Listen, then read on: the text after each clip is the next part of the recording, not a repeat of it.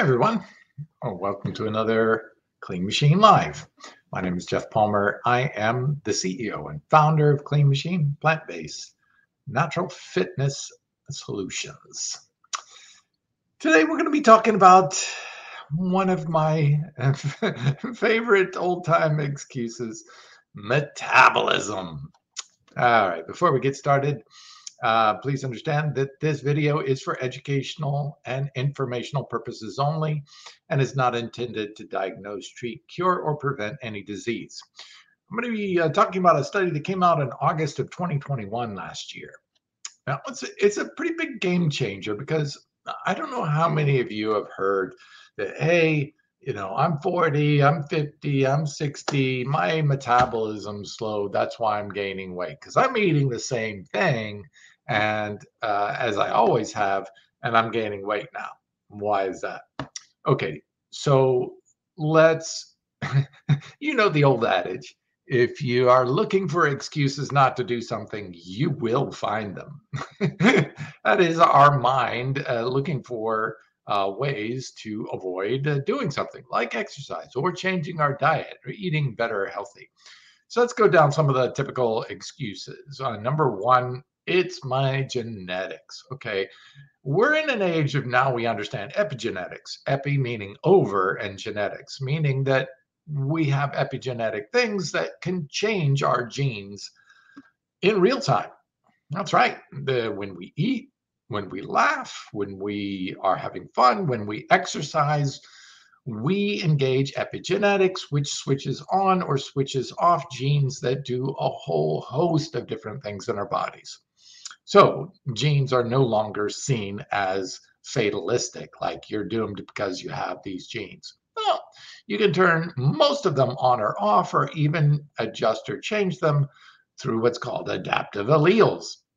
Adaptive alleles are kind of like a uh, app that you load up on your DNA that uh, gets you to uh, include some more functionality to your genes, gets you to do something else is we have an adaptive alleles for lots of different things as our life changes, as our dietary choices change.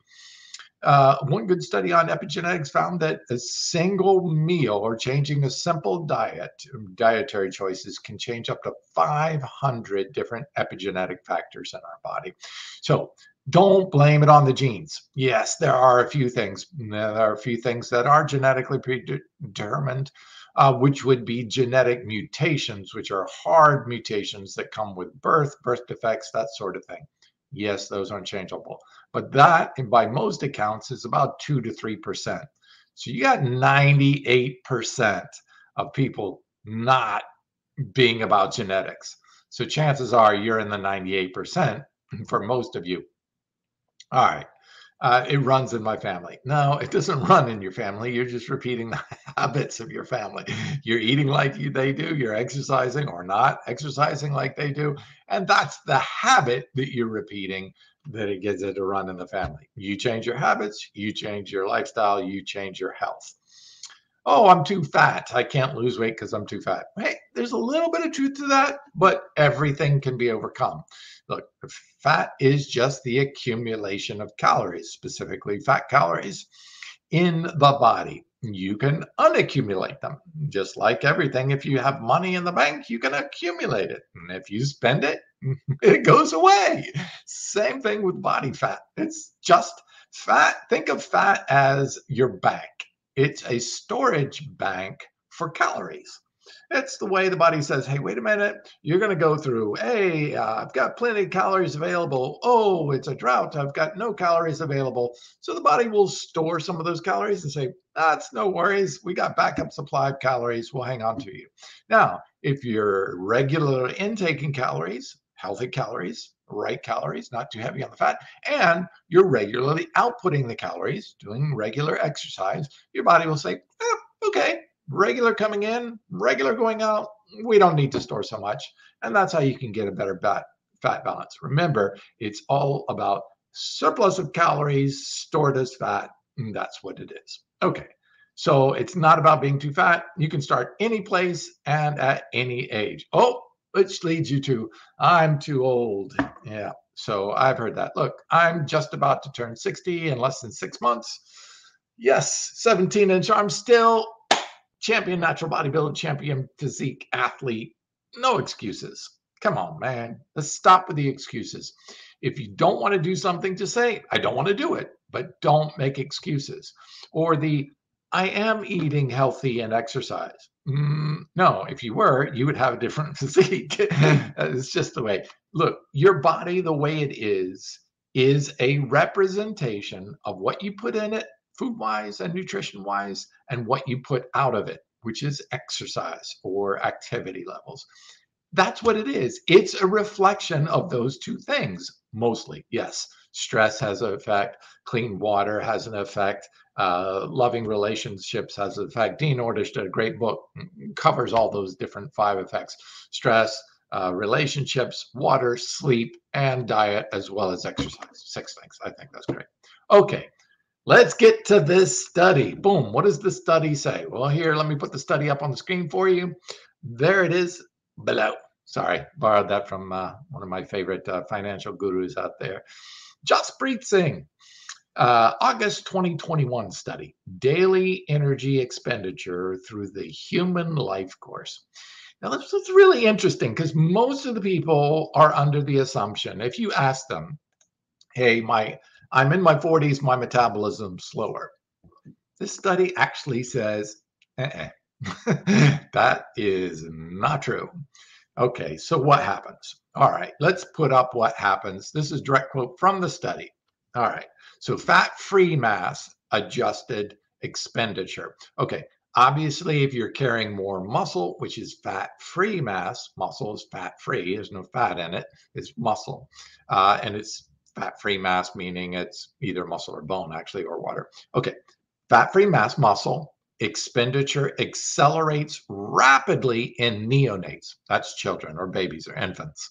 Okay, so you need a lot of growth when you're little. So your metabolism speeds up because you're trying to grow, right?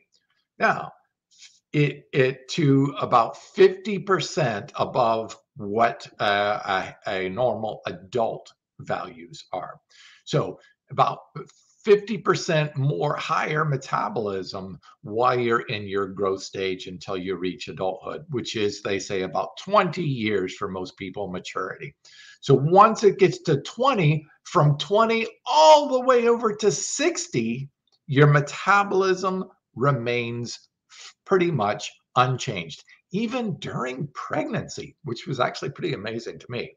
So all the time we reach adulthood, from 20 to 60, your metabolism is basically the same.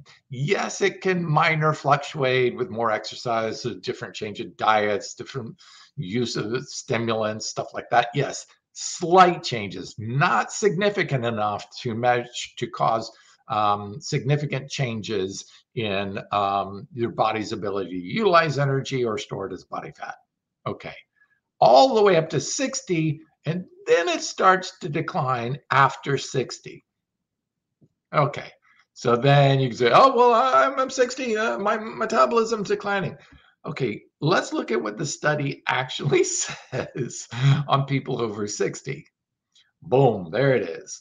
Um, after 60, it declines 0.7% per year. Now, for somebody eating a 2,400 calorie intake, which is the average uh, intake for um, an adult male, 2,400 calories, a healthy intake, I should say. Obviously, standard American men are eating way above that. But at 0.7%, that would equal about 17 calories per year. You could you could throw a couple ice cubes in your water every day and burn more calories than that because the body has to heat up the body. If you drink an ice cold water, your body actually burns up a, a few calories uh, through an uncoupling protein technique where your body just releases the calories as heat to warm the body back up when you're cold. Yeah, just get in, step into a, a, an ice cooled uh, room and your body will accelerate a little bit of calorie burning, but only small, few amount of calories. Heck, walking from your car into the gym and getting upstairs into the gym, walking up the stairs, you could burn about that many calories. So nothing. It's nothing really. that's how little it declines. So basically, the change is insignificant, and we should stop using my metabolism is slowing. That's why I'm gaining weight. No, you're gaining weight because you're eating too many calories or you're eating the wrong types of calories. Um, and here's uh, another good study that I'm going to post up in just a second if I can find it real quick. I'll just actually talk about the study.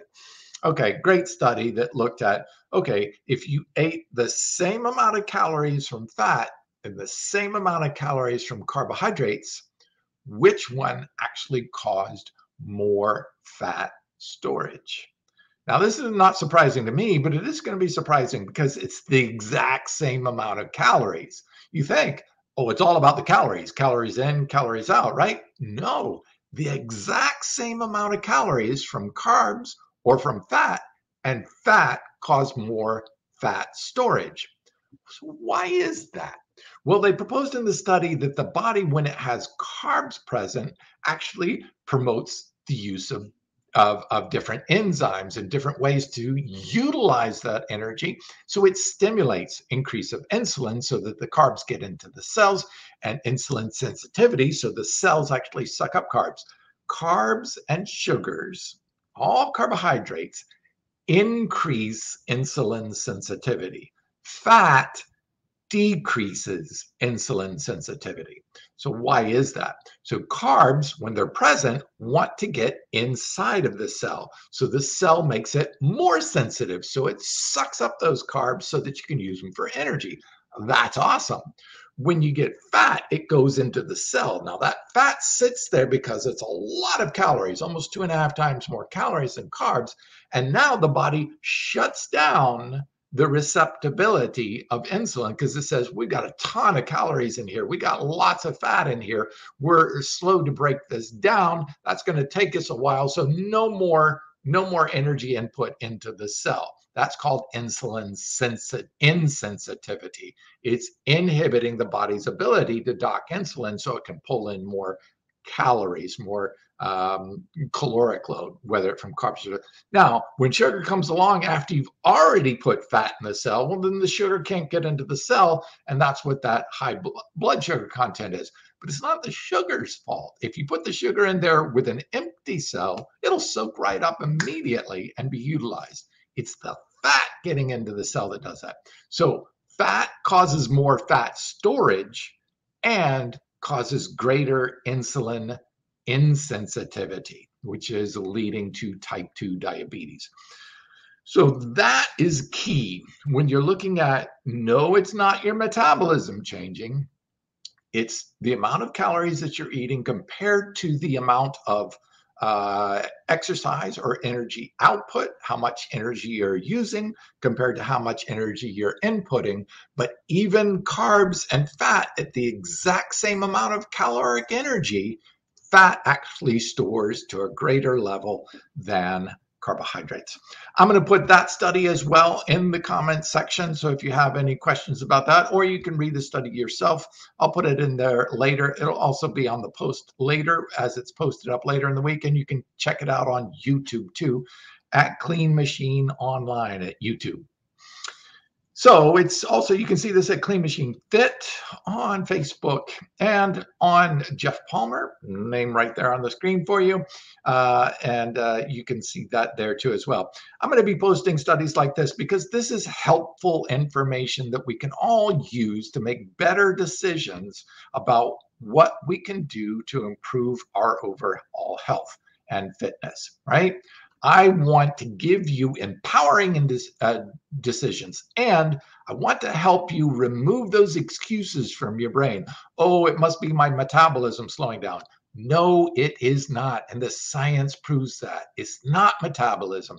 And if we can eliminate those excuses, if we can get them out of our mind saying, no, that's not true, I'm not buying that excuse anymore, then we can get to the real source of the problem, which is I got to look at what I'm eating. I got to look at my exercise. I got to increase my calorie output and decrease my calorie intake. It's not my age. It's not my metabolism. It's what I'm eating and what I'm doing is exercise. And that what you are eating, fat to carbs, is important, especially if they're complex carbs, because that's going to give you polyphenols and uh, other metabolites that will help you utilize those calories, where fat does not do that. Fat does not create metabolites that help you use those calories, not like the polyphenols, the fiber, uh, the butyrates, the antioxidants, the, all the vitamins that come along with those complex carbohydrates that are found in plants. This is information you can use so you understand why you're not getting results on your body in the gym or through your diet and exercise programs. I want you to succeed. That's why I come up with these products to try to give you the best nutritional support, get the results that you're looking for, both in the gym and through your nutrition, and live a long and prosperous, healthy life. I hope you enjoyed this one. Let's stop with the excuses. Be honest to yourself. You can lie to yourself, but your body doesn't take that lie, doesn't accept that lie as the truth. It operates on the truth. And now that we have the science and the facts to back it up, let's lose those excuses and lose the weight we don't want, gain the weight we do want, and enjoy life to its fullest. I hope you enjoyed this. If you do, please give it a thumbs up, smash that thumbs up button, and also subscribe to us on uh, YouTube. This helps us get better rankings on YouTube, help get more of this information so we can all help everyone else enjoy the benefits of health. Thanks, everyone. I'll see you next week.